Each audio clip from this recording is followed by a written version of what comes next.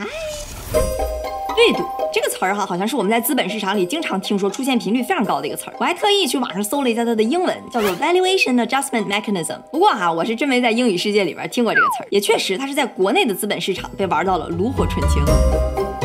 就是因为对赌，有人笑到最后，有人跌落谷底，更有人倾家荡产，甚至有人锒铛入狱。你就感觉哈，国内很多大佬，甚至是娱乐圈的明星，都得经过几次对赌的洗礼，才能完成打怪升级。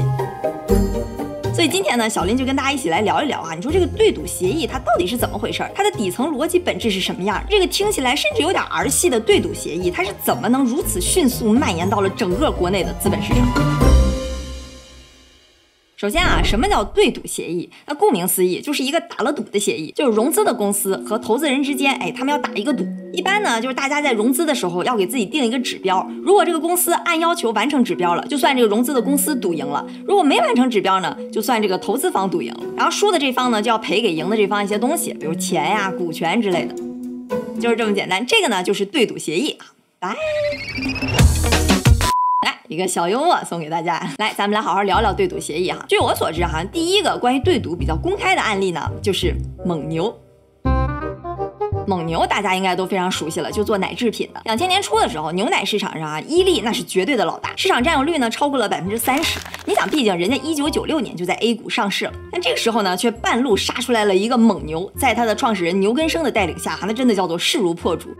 来捎带说一嘴，这个创始人牛根生哈，其实他最开始呢是在伊利干的，当时呢也是能力非凡，一路凭实力做到了副总裁。他带领的那个团队在伊利的业绩能占到百分之八十。后来呢就有传言说哈，在内部有一些政治斗争，反正就是各种原因吧。这个牛根生呢就出来单干了，就创立了蒙牛。结果他出来之后呢，伊利有九个高管啊都放弃了高薪，追随着牛根生出来创业，又陆陆续续哩哩啦啦有上百多个部下也都奔走相告，投奔而来。第一年营收还只有三千七百多万，可是短短的四年后，到零三年底，这个数字就变成了四十个亿，整整翻了一百多倍，是不是还挺有两把刷子的？所以后来呢，甚至都有人把牛根生称为乳业之父。有点扯远了哈，反正呢，就是蒙牛最开始在牛根生的带领下，那叫势如破竹。乳制品这个行业呢，它是一种规模经济，就是最开始呢，你要把这些牛都弄好，然后把供应链都弄好，这个初期投入的成本是很高的。然后往后的那边际成本就很小，你就让那个牛多挤一点奶就能拿出去卖钱了。对于这种行业来讲，只要市场还有潜力，就是说你扩张的越大，你赚的就越多。所以对于牛根生来讲，只要这个市场容量还足够的大，那我要想赚更多的钱，我就需要扩张。那扩张需要什么呢？哎，没错，就是钱。题就来了，你说对于蒙牛这个当时还不太知名的一个民营企业哈，他要想从银行里贷到大量的钱，其实是非常困难的。说牛根生非常会做产品，非常会营销，可是，一旦说到资本市场，那就是抓瞎，所以他非常的焦虑。哎，这时候哈，这个急需钱的蒙牛就让资本摩根士丹利给盯上。了早就盯上蒙牛这个大香饽饽已经很久了。你想那时候哈，中国刚加入 WTO，就在飞速发展，人民生活水平也在急速的提高，所以乳制品那个行业呢，虽然说当时还没有特别普及，但是市场潜力是巨大的。那摩根士丹利呢，自然也想在这个赛道里边插一脚。但问题就是当时的行业龙头伊利，其实啊已经又是国资背景，也早就上市三年了。对于摩根士丹利来讲呢，根本就挤不进去。但是啊，蒙牛我行啊，对不对？你看典型的初创企业，市场好，发展快，而且哈这阿牛又非常的有能力，带来了一批伊利出来的管理层。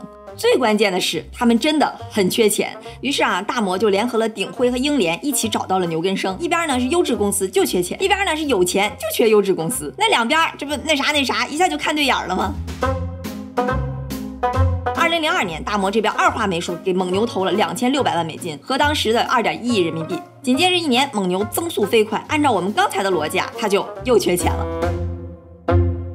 于是啊，牛根生就又找到了大摩，说：“哎，你再投点呗。”那大摩钱还是有的，但是思量再三，觉得再追加投资呢，风险也还是挺大的。毕竟啊，中国资本市场也就是那几年才发展起来的，不管呢是法律保护还是市场规则，都不是那么完善。所以为了尽可能的保护自己的利益，哈，大摩这边就跟牛根生说了：“说，哎，兄弟，我们很看好你蒙牛，也很看好你牛根生，投钱可以，我们愿意再出三千五百二十三万美金，当然我也不知道怎么算的，大概就合二点九亿人民币。但是，but 我们有个条件。”咱们来定一个目标哈，如果呢，在未来三年蒙牛营收的复合增长率都超过百分之五十，那呢，我们资方哈就再送给你们七千八百三十万股，就大概合百分之六蒙牛的股份。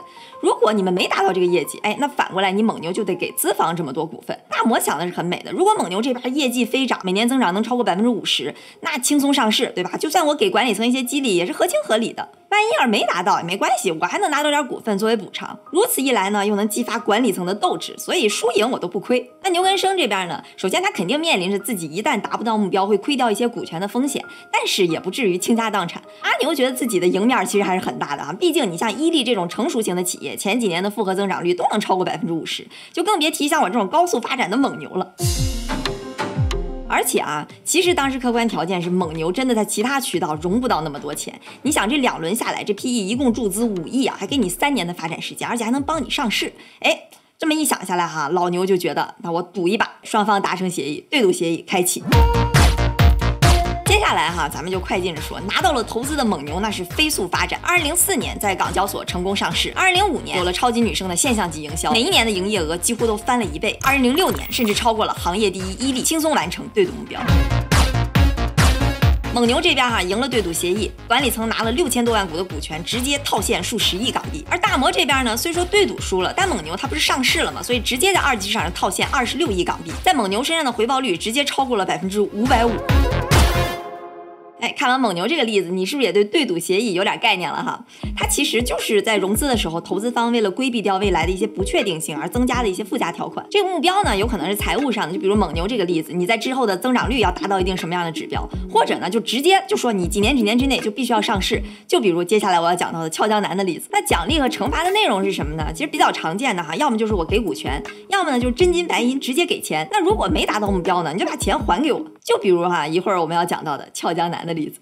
那你是不是就感觉，虽然它叫对赌协议，听着好像是两边打赌很公平，但是你总感觉好像是投资方在中间占了便宜？哎，没错，你感觉的是非常对的。你看啊，融资投资说白了呢，就是投资方看好了这个公司，觉得它很有潜力，好给钱入伙之后呢，两边就在一条船上了，赚一起赚，亏呢也应该一起承担风险。可是如果一旦加上这么一条额外的对赌条款呢，如果公司赚钱了，那还好说，投资人这边少赚点，融资人能赚得更多。但是万一要是公司亏钱了，那资本投资方这边几乎就没有影响，反而融融资方这边要血亏，甚至哈有一些要无限连带到个人这边进入老赖名单，结果就造成了这个看似公平的对赌，其实是大大降低了投资方的风险，而是提高了融资方的风险。你看啊，金融本来就是玩风险跟收益的游戏，高风险就对应着高收益。那投资方这边签了一条对赌，就相当于变相把自己的风险给降低了，其实就变相提高了它的 sharp ratio。所以换句话说，你也可以说它的投资回报率相当于变高了。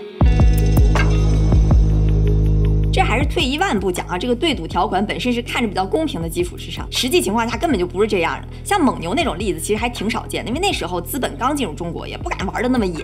但是慢慢的就发展成资本越来越豪横，赢了没有奖励，输了还要惩罚，那就完全变成了一个惩罚条款。哎，就比如说一会儿我们要讲到的俏江南的例子，我要是再不讲俏江南，你们是不是要打我了？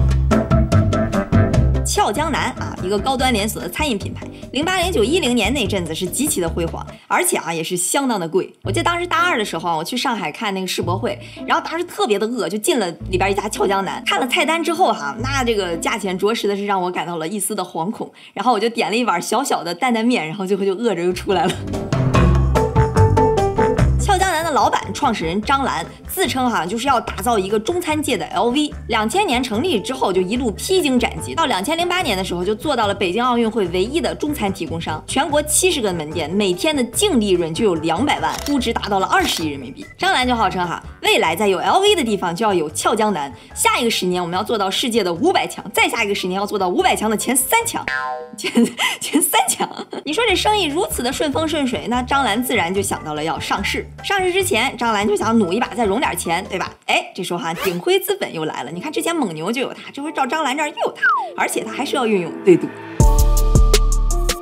赌什么呢？很简单，我就赌你俏江南四年之后要上市。如果成功啊，那就成功上市，也没有什么别的奖励。但如果失败，不好意思，张兰女士，你得把之前的投资款都还给我，而且啊，还得加上一个合理的回报率，据说是年化百分之二十。鼎晖还不忘了把最坏的情况都防范好，还加了附加条款，就是万一张兰你到时候拿不出来钱怎么办？哎，那也没关系，我鼎晖可以把张兰的股份拿过来变卖换钱，反正呢就是要保证我这本钱啊都稳稳的。那你肯定也会问了，你说这么苛刻的条件，张兰为什么要答应呢？你说他搞餐饮行业风险也不是很大，而且现金流又这么稳定，为什么不一步一步就稳扎稳打呢？对吧？何必呢？其实啊，他就是当时有点一路走的太顺，自信心有点爆棚了。他看着像全聚德、湘鄂情这些餐饮公司都陆陆续续的上市了，而且你想鼎辉哈又有资金又有经验，那上市对于俏江南来说就是瓮中捉鳖、探囊取物。退一万步讲，这个对赌赌的无非就是些钱嘛。到时候就算我没达标，那我就花点钱把这股份再给买回来，公司还在我自己手里。于是呢，张兰就愉快的同意了。拿到投资的张兰，那也是风光一时哈，到处演讲。当时的俏江南 CEO 张兰的儿子汪小菲也是高调迎娶了女星大 S。俏江南呢，也在2011年向 A 股提交了上市申请。但是啊，好景不长，2012年1月的时候，证监会公布了终止 IPO 的名单，这里边就包含了很多的餐饮行业。哎，俏江南就赫然在列。当时给出的原因呢，就是因为餐饮行业哈，它的采购和销售端都是很多现金交易，所以没有办法保证财报的真实性。张兰当时都懵了，你想这时候离对赌协议最后的那个有效截止时间已经只剩八个月了，只能火急火燎的又跑去要香港上市。第二年也巧了，全球股灾，而且呢，那个时候我们有一个十号令，中国民营企业不得到海外上市。当然，外界有传闻说其实是俏江南的财务问题啊，反正最后呢就是香港上市也没有成功，两次 IPO 均告失败，于是就触发了对赌协议当中的回购协议。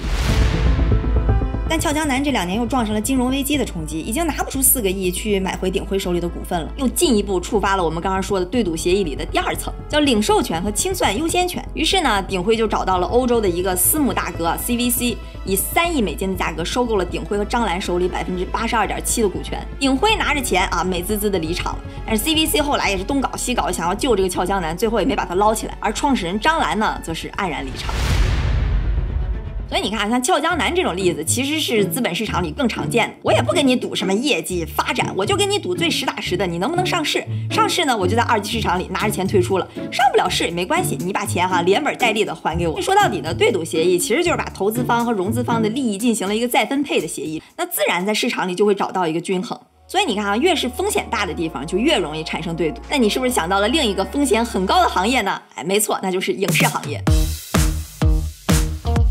影视行业的不确定性是非常大的。一个人要是爆火，那可能就会让一个上百人的公司起死回生；但是一个明星要是爆雷呢，那就可能让一家公司彻底废掉。而且娱乐圈又存在着非常大的信息不对称。你说一个公司运营企业，你可以查查账、看看财报；你说娱乐圈那些明星八卦什么的，那对于资本来讲就真的是没法监管了。那我干脆你就签个对赌，对吧？你自己来监管你自己。就比如说哈，现在大量的电影融资的时候都会签一个对赌，就要保证一个票房的底线。我能查到的，比如说《战狼二》《叶问三》。美人鱼都是有这种机制，当然这对赌呢，就有时候也逼着这些制片方啊，就明知道是烂片也得加大噱头去大力宣传。再有就是一些明星融资的时候，也会拿自身的产出效益去对赌，就是我几年内一定要赚多少，达到什么样业绩目标。对于娱乐圈这种有点鱼龙混杂的行业呢，这个对赌协议确实能帮助资本去制约那些信息不对称带来的负面效应。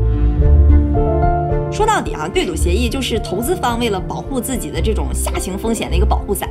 但你想，哪个国家的资本肯定都想保护自己的下行风险，只不过呢，在欧美它的机制能更成熟一些，所以这些资本呢能用的招儿其实也更多。比如说像什么优先股啊、可转债啊，或者一些结构性的债券等等，都是这些投资方去保护自己下行风险的一些武器。只不过有一点哈，确实对赌协议有一个比较明显的不同，就我们平时看一些融资的公司和投资人之前签的那个协议都是公司层面上的，但对赌呢，很多。多情况下是要签到个人层面上的，这就会导致创始人这个个人哈会被无限的连带，甚至倾家荡产。你就比如说罗永浩当时不就是因为签了对赌协议被无限连带，就进了老赖名单吗？其实，在市场上啊，存在即合理。就对赌协议也是当时的市场环境和投资方、融资方双方的那个处境催生出来的产物。随着市场环境、法律监管越来越成熟，它的演变的形式可能会多种多样。但是从底层上来讲哈，资本对于降低风险的这个诉求，它是永远存在的。所以啊，就是小赌怡情，大赌伤身啊。所以后来呢，甚至有人都把这个，所以呢，牛根生也一直被人们称为叫做牛之父，叫什么来着？午夜之父。可真是会胡说八道。